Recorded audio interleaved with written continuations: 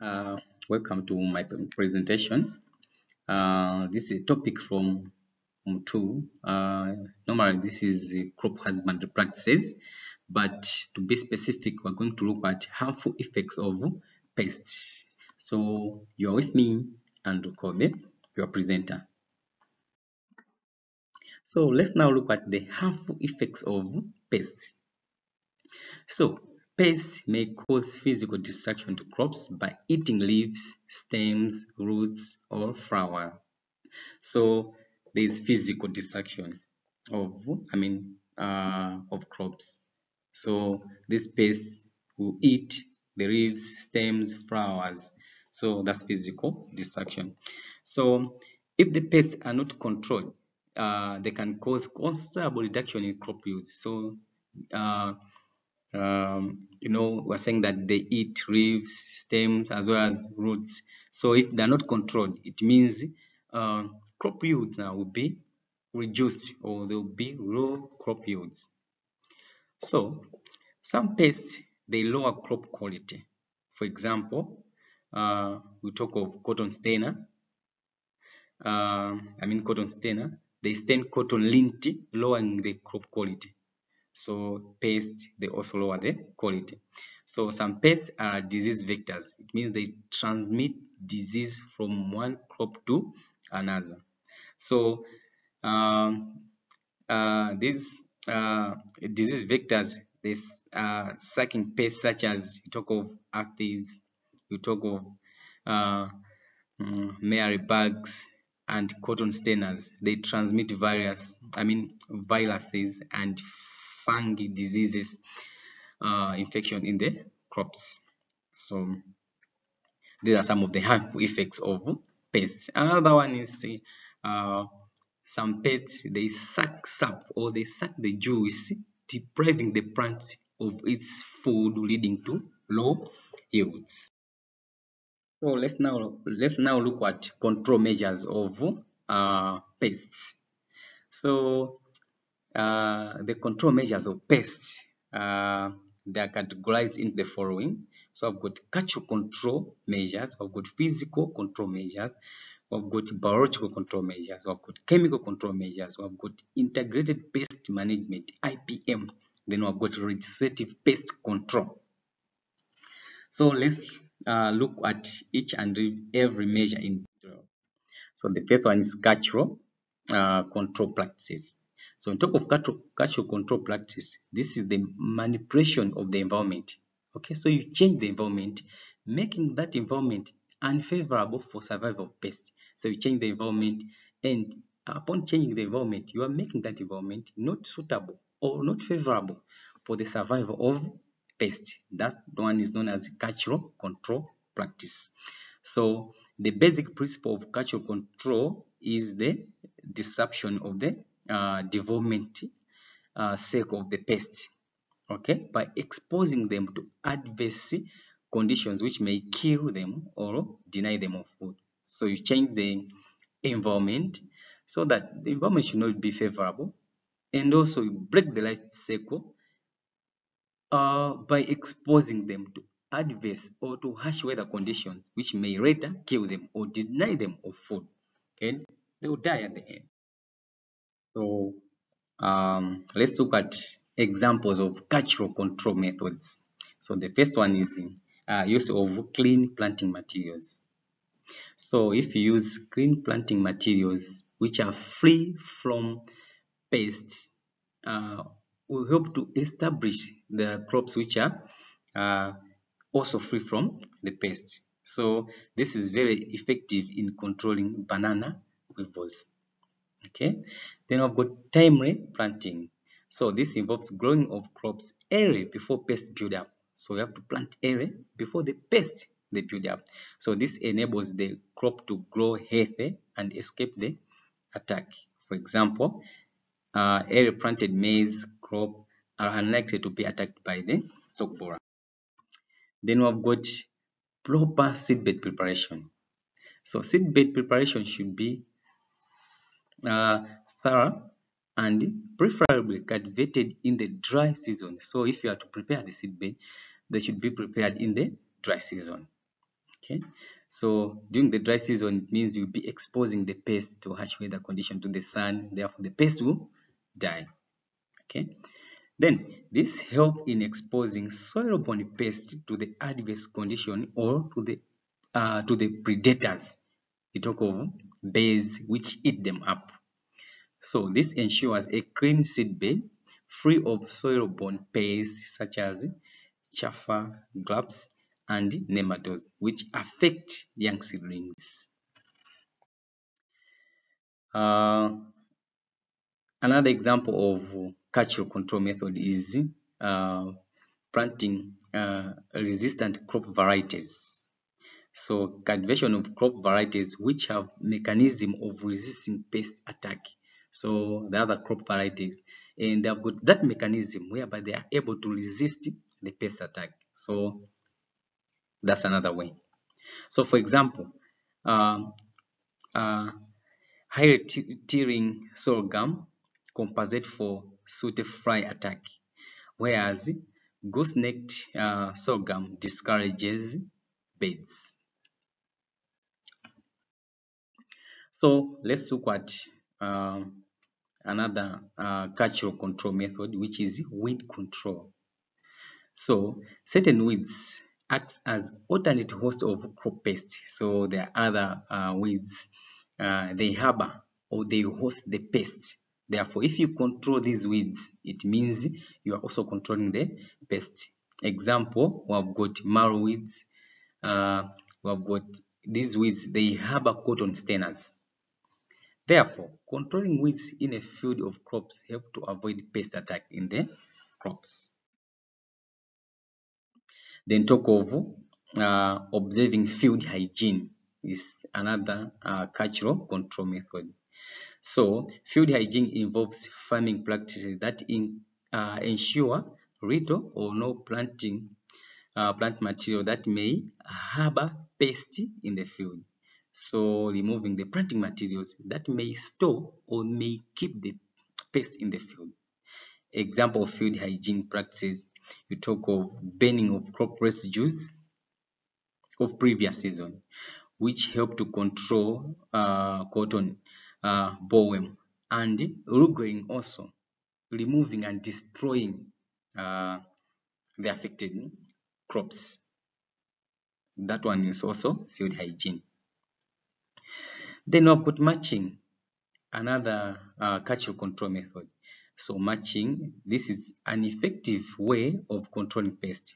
For example, uh, coffee thrips and uh, Antestia bugs are uh, predated the more once the crop is mulched. Okay, so mulching, they are covering the crops with uh, glass it's one way of controlling the pests.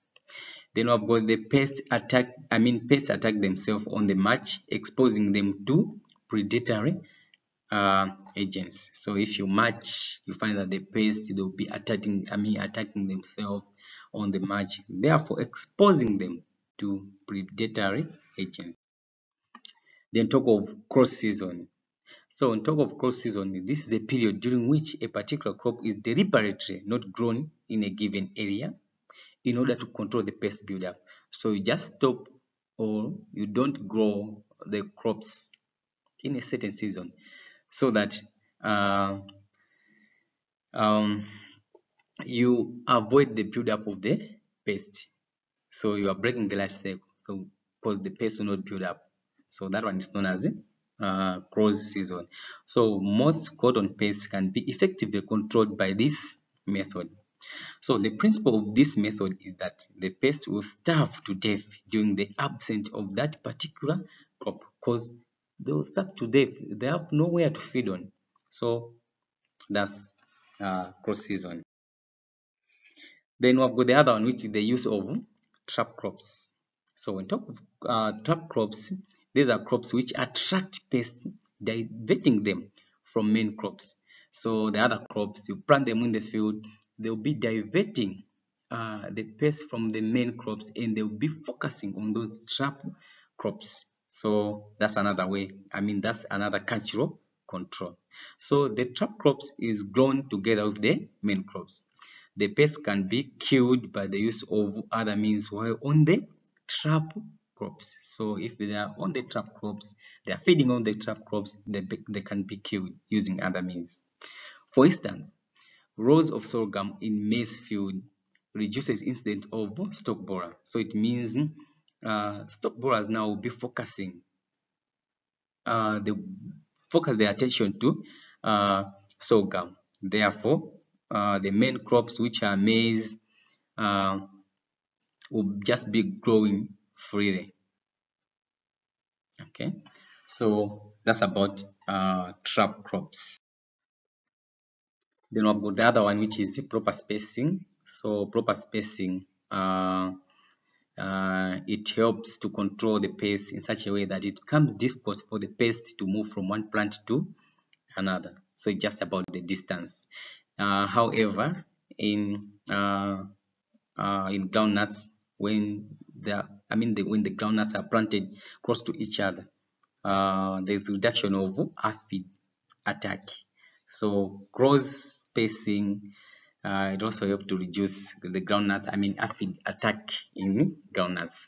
Then about the other one, which is timely harvesting, is also one way of catch control method. So harvesting crops in good time prevents serious attack by pests.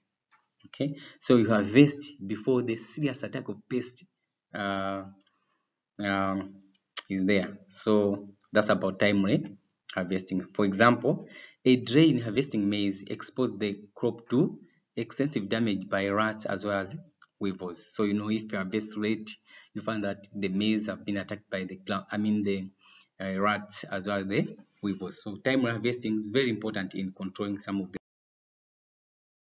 so another one is crop rotation. So in talk of crop, crop rotation, uh, crops which are more susceptible to a particular pest are alternated with the other crops which are not uh, susceptible to it. So we find that there are other crops, I mean there are other pests, they are crop specific.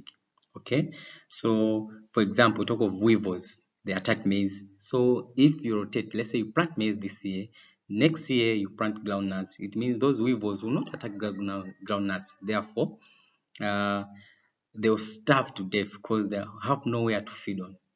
So that's how crop rotation uh, help to control some of these pests.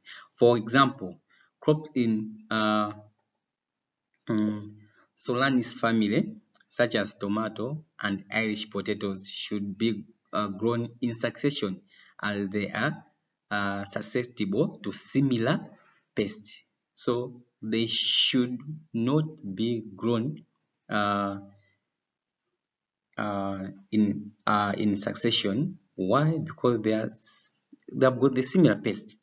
Therefore, uh, they can be attacked by the same pest. Then we've got proper plant nutrition. So healthy plants are known to be more resistant to pests. For example, aphids cause minimal damage to healthy beans crops. So this is achieved by application of right amount of manure and fertilizer. So when talk of proper plant nutrition, it means you have to make the plant healthy. You have to feed the plants, make the plant healthy by application of right amount of manure as well as fertilizer. So if the plants are healthy, it means they may not be easily attacked by the pests. And sometimes they resist to the attack. Why? Because they are healthy. So that's about plant, I mean proper plant nutrition. Then let's look at the uh, mechanical pest control practices. So when talk of mechanic, mechanical pest control practices, these are also referred to as physical means of pest control. So it involves using mechanical means to kill the pests and creating barriers to prevent pests from getting in the contact with the target crops. So sometimes uh, you create the physical barrier to prevent the pests from, I mean, getting in contact with the um, the crops. That one is known as uh, mechanical pest control. So under mechanical control practices, we have got the following. We have got irrigation or I mean irrigation using flooding. So flooding is one of the uh, mechanical pest control because if you flood you are suffocating I mean you suffocate the pest. You talk of use of rainfall temperatures, just increase the temperatures in storage facilities. Rainfall temperature, it means the pest will die. You talk of suffocation, you talk of hand picking, okay, trapping and killing them. You handpick, you destroy the, I mean, you destroy, you crush the pest, okay. You talk of creation of physical barrier, okay. You talk of physical barrier. Let's say uh, you want to control, let's say, uh, goats from entering the maize field. You create the physical barrier. You create a fence, okay. That's physical barrier. That's, I mean, that one is also a mechanical control measure. Then talk of proper drying. So if you dry the crops properly, it becomes very difficult for pests uh, to feed on, uh, to feed on those crops. Then talk of use of scarecrows. Okay, you put the scarecrows in the field and the pest now will be scared to enter the field. Uh, that one also is uh, mechanical control measure. Then uh, the use of explosives will scare the pest away. We talk, we talk of the use of distress calls. Distress calls uh, is also one way of mechanical control measure. Then let's start by looking at the irrigation method or flooding method. So talk of irrigation method. Uh, irrigation drones pests such as leaf miners and aphids while flooding suffocate moles in the soil. Okay, so when you use flooding, the suffocation. Uh, talk of overhead irrigation washes aphids away from the cabbage. So if you use the overhead irrigation, water will be coming from the above. Therefore, the aphids will be washed away from the cabbage. Then let's look at the use of rainfall temperatures. So this involves application of extreme or very high temperatures to control the pests, uh, especially in post-harvest management practices. Okay, for instance, talk of hot weather is, I mean, what hot water is used to control the pink uh, bollworm in cotton seeds. So hot water can be used to control these pink bollworms in cotton seeds. Then we've got suffocation. We talked of suffocation. So suffocation, some storage bins are filled with carbon dioxide to inhibit pest multiplication or survival. So we can use carbon dioxide in storage facilities, okay, uh, to inhibit or to control the multiplication of uh, some pests. Then let's go to hand picking, trapping as well as killing. So this involving you catch the pest, killing it. Uh, it is even, I mean, it is effective in controlling pests such as rats, moles, bees, giants, loopers, uh, using special traps. So hand picking, trapping them as well as killing them. Then talk of creation of physical barrier. When talk of uh, physical barrier, you talk of metal plates fixed on poles for raised granaries, prevent uh, vermin like rats from gaining entry into the stores. So you find that in the granaries, they have got uh, metal plates uh, in the, I mean, along the pores. So these metal plates uh, will prevent uh, some pests like rats from entering into the granaries. Then talk of use of sticky materials on trees such as, I mean, on tree um, tree trunks. They help to control pests like scales in citrus fruits. Um, fence physically keep off the large animals. Talk of the fencing. If you fence, it means you are keeping the large animals from entering the field. That one also is physical barrier. Then we've got uh, proper drying.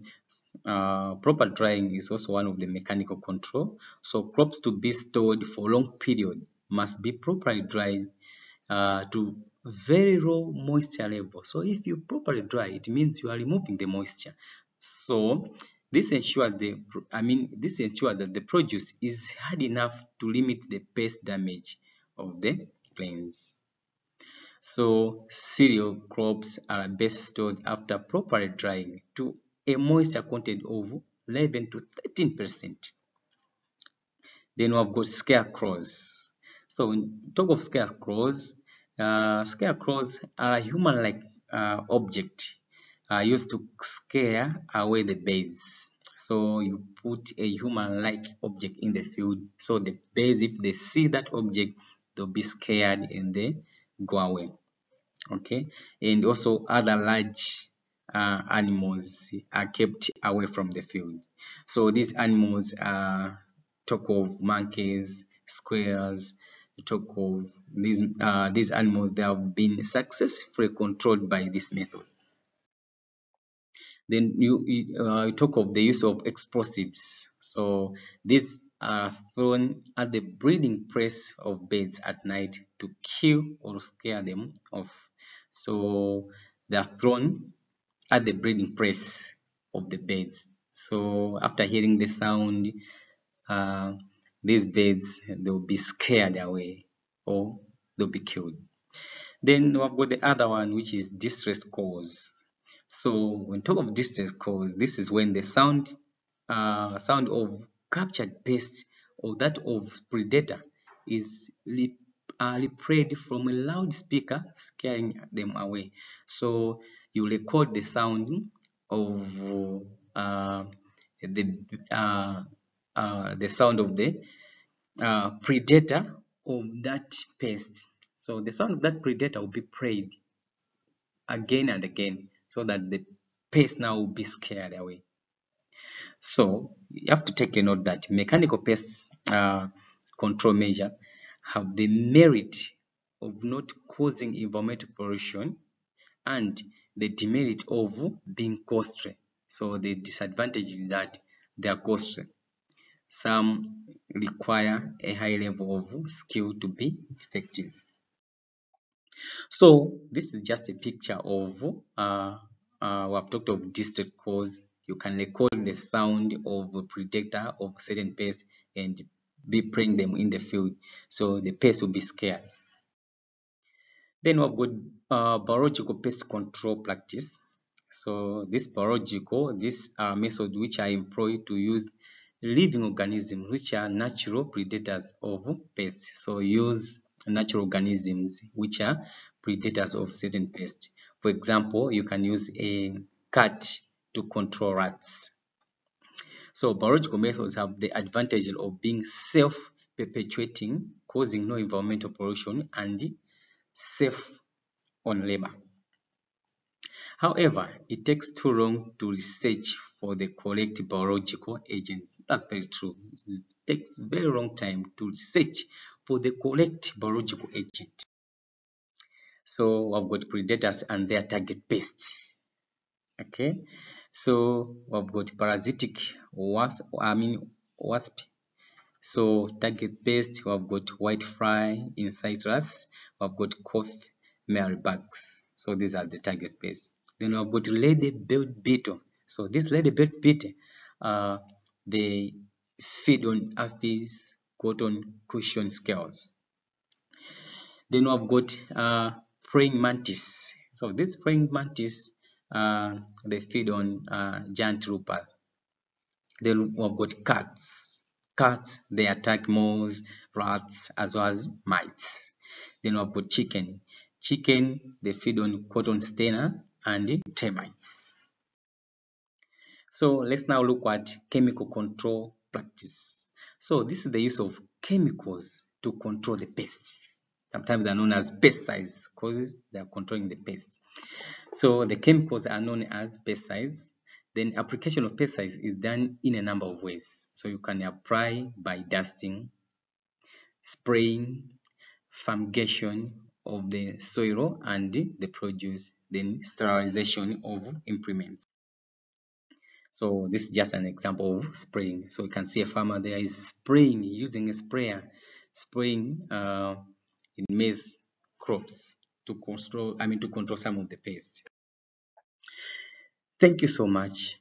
uh, this is what I had in this video. If there are any questions, that's our WhatsApp number and that's our email. Uh, see you in our next video. Thank you.